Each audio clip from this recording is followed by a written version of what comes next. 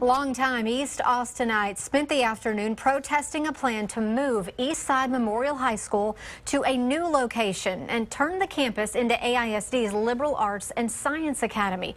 Moving LASA out of LBJ High School has been an ongoing discussion for months. AISD has talked about moving LASA to the Alternative Learning Center, but is now floating around the idea of moving Eastside Memorial to the ALC. Alumni of Johnston High School, which is now Eastside Memorial, they're not happy and say they should have been part of the discussion. We want Johnston to stay exactly where it is. I mean, it's okay if you want to move a school, but why does it have to be Johnston High School? We have suffered enough. The school board is set to vote on calling a bond election Monday. What's going in the bond is not set in stone.